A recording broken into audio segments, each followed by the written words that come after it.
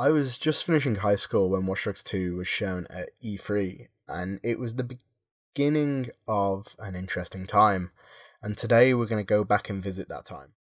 Now, I was 16 when watching E3 in 2016, and it was a really cool time. The first time we saw Wrench, I was blown away by it, and I just had to make my own mark on it and try and make my own version of the mask.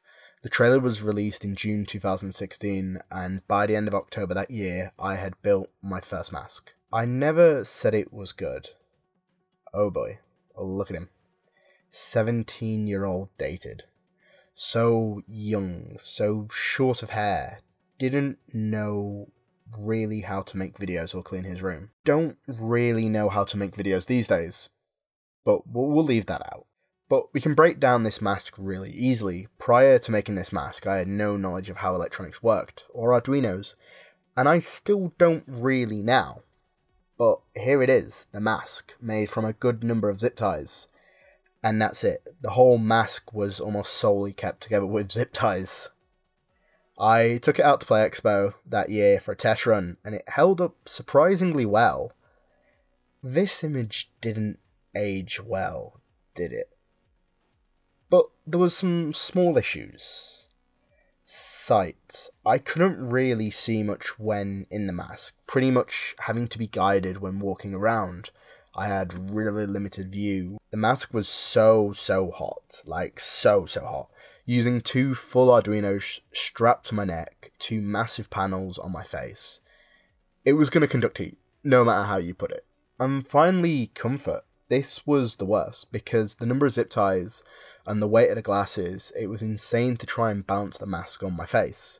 Likewise, powering the Arduinos separately meant I needed to trail two massive cables down my back between my shirt and my hoodie to power the bar in my back pocket, and that was just a nightmare.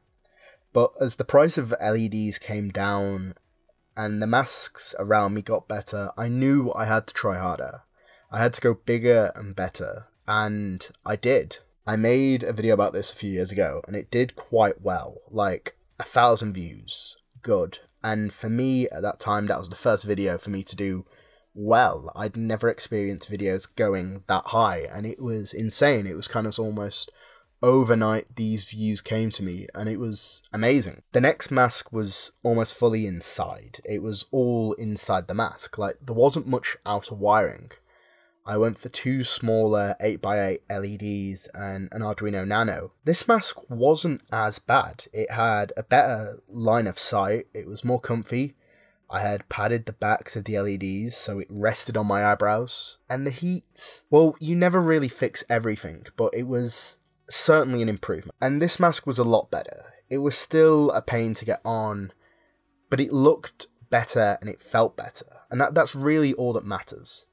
I got to test run it at EGX Rezzed the following year, and EGX clearly liked it. This was a cool moment. I took it back to Play Expo again the following year, but didn't really get any photos of it.